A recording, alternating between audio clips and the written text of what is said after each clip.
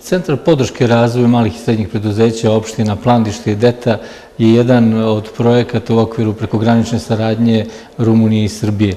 U ovom projektu dve male opštine, Plandište i Deta, naše su zajednički interes da e, pokušaju da e, kroz zajedničke aktivnosti pospeše e, novo zapošljavanje u svojim sredinama. Nakon tranzicije u opštini Plandište veliki broj ljudi je ostao bez posla, prvenstveno iz oblasti tekstilne industrije e, i e, u poljoprivredi, dok opština Deta e, ima potrebe za industrijskom zonom, obzirom da u Rumuniju već odavno stiže značajni iznos investicija iz inostranstva.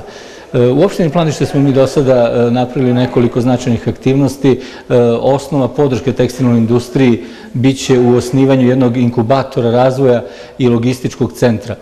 Naime, nakon e, nestanka velikog planteksa nastoje veliki broj malih preduzeća e, koja e, sada rade sa 10 do 15 zaposlenih i nemaju onu osnovnu logističku infrastrukturu. Znači, nemaju kvalitetnu pripremu za proizvodnju, nemaju dovoljno sredstava za izlazak u marketing i nemaju dovoljno povezanosti sa naučno-istraživačkim ustanovama.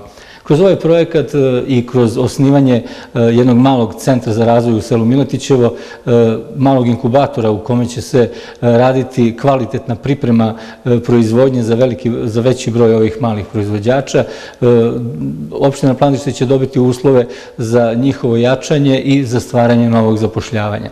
E, druga Drugi značajan segment je rad na marketingu i u okviru projekta su napravljene e, tri značajne e, modne revije. Jedna je bila u okviru Fashion Selectiona, druga je na sajmu u Temišvaru i treća ovde u okviru dana tekstila u predivnom dvorcu Kapetanovo.